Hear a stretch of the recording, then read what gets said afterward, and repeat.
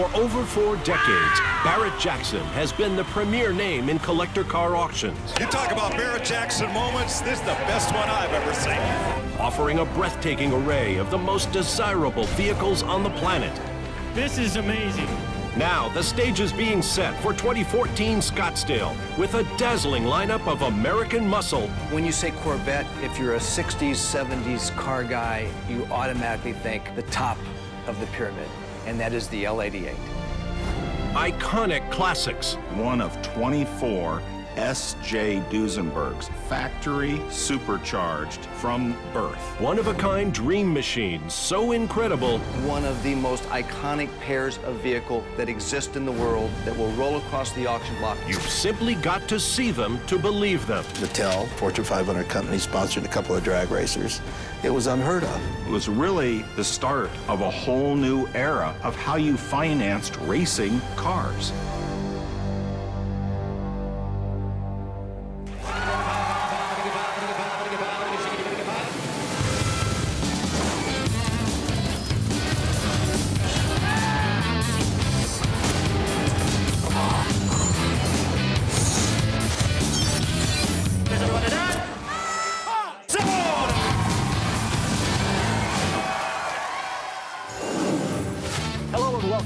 Fox Sports first look at the 2014 edition of the world's greatest collector car event, the Barrett Jackson auction, coming in January in Scottsdale, Arizona. Hi, everybody. I'm Bob Varsha. And I'm Mike Joy, looking forward to six days of live auction coverage across the Fox networks. Back in 1971, partners Tom Barrett and Russ Jackson created a simple vintage auto show in their hometown of Scottsdale.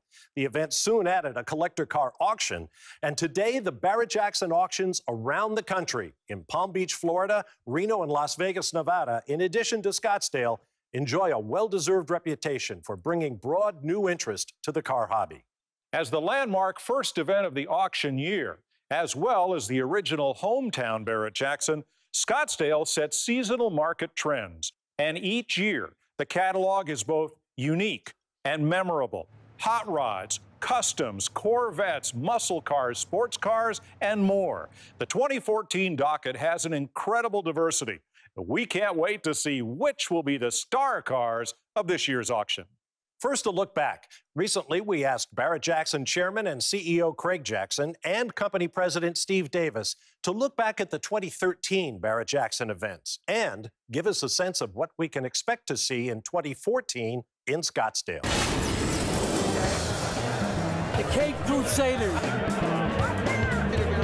Here comes the rock star. Unbelievable. 2013 started off with a bang. George Barris in the Batmobile, and look at all the cameras and smartphones and the crush of people. Wow. It was absolutely one of those moments that's unforgettable. This isn't a car, it's a cult. This is incredible the energy in the room. I've been saying all week we're making too big a deal out of the Batmobile, and I was dead wrong. This is unbelievable. And boom. And they decided it with the flip of a coin. Ladies and gentlemen,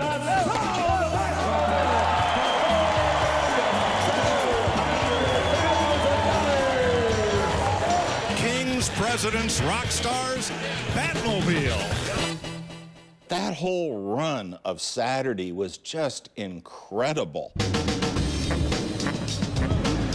Jeff Gordon, give him a round of applause, ladies and gentlemen. This is amazing. So the car right there. $1.85 million. I sold the car for $1,200,000 in the Muscle Lounge. Sold that car for $1 million I think Rick Hendrick has something new for his collection. We had one of our best Palm Beach events. This car shows so well, and it's bringing very good money. Sell the car for $250,000. Led right into Hot August Nights. Come on, let's make some noise. Half a million for charity. So, ladies and gentlemen, Mr. and Mrs. Don Davis, $500,000 You talk about Barrett Jackson moments. This is the best one I've ever seen. Not only did we have a spectacular event, but for the first time ever in the history of, of our company, we were taking it to another level with the Barrett-Jackson Cup. And our winner is Troy Trepanier, 1969 Torino.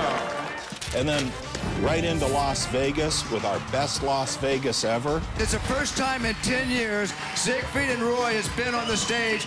This is Vegas royalty right here. Clay Walker, who rocked the house last night. Golden car, $500,000. My doctors gave me only a 30 to 40 percent chance of surviving. Well, here I am. 2013 has been phenomenal. Golden car, 700 Going to the Dave collection. Thank you very, very much.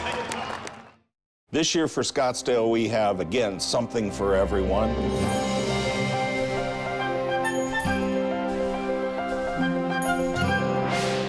Iconic classics that we have in the auction this year. The Duesenberg that we have featured this year, it's one of 24 S.J. Duesenbergs, factory supercharged from birth.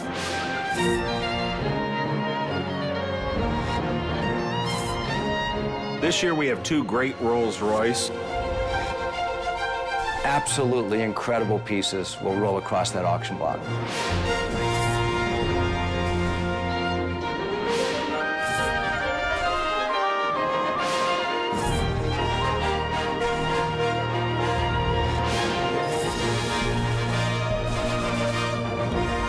We have Cars of Legend. Iconic pieces of Americana.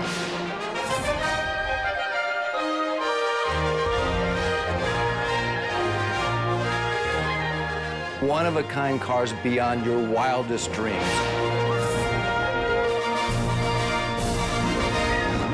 Great European classics. We have a vintage Alfa Romeo 1939 C6 Touring Berlinetta body. A Talbot Lago T26 Grand Sport.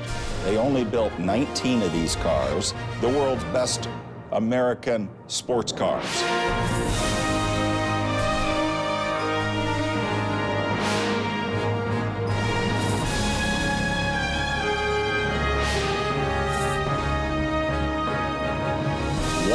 Concept cars. The Belmont was built for the Chicago Auto Show, New York Motorama.